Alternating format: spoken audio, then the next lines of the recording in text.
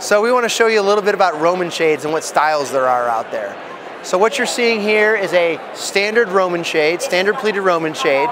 As you notice, there's no valance at the top up here. So it's a very clean, modern look. It, grays are a very hot color right now, and they're coming, becoming one of the best colors interior right now.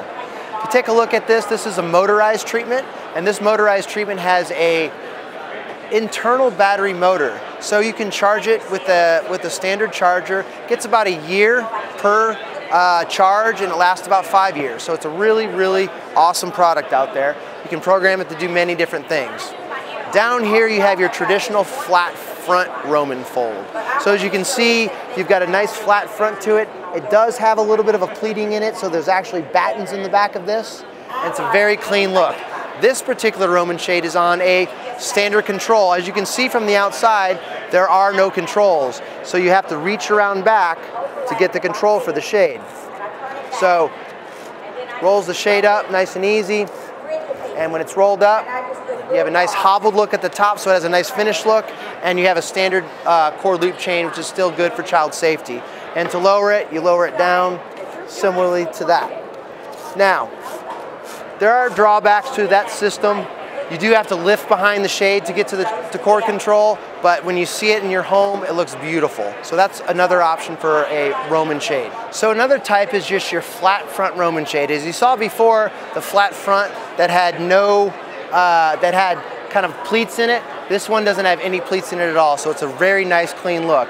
As you can see, we've done this with like a flannel type fabric. It has edge banding on it to kind of give you a, a little unique look. This particular one, again, is motorized with the uh, internal battery motor. Uh, great option out there. The other thing you can do is you can say, Alexa, raise my shades, and it integrates great with Alexa and Google Home. As you notice now, when this, this shade is up, with the way we did this shade is you have a nice hobbled look, but then you also have this uh, clean defined edge. So just another way to do Roman shades. So here we have a traditional, what we call hobbled or waterfall Roman shade. And this is a uh, traditional look in a home, and what we've done with this one is it's a cordless option. So again, keeping things safe for the kids, it's just a simple cord-free operation. You lift it down, has a nice clean look there, and just more of a traditional Roman shade look to you. So that's a hobbled Roman shade with a cordless control. Okay, just showing you some different ways that a flat front Roman shade looks like. Again, no valance on the top here, very clean look.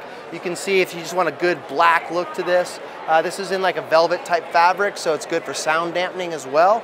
Here you have another traditional pleated Roman shade. Pleats are on the front, so it just gives you a different look. Just showing another example of this is in a burgundy color.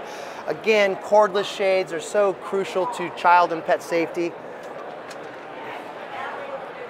There's your cordless option right there. Okay, so what you have here is a nice flat front Roman shade. Again, all the controls from behind.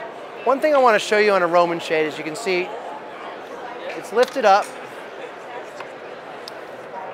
And sometimes you want to dress it to make it look nice and, nice and neat. So you have a nice hobbled Roman shade look here. Again, all the cords come from behind. And as you can see, you can roll the shade up like that. And as you can see, it's not quite dialed in yet, so we have to dress the shade when it's in the window. So just something to keep in mind when you're looking at Roman shades.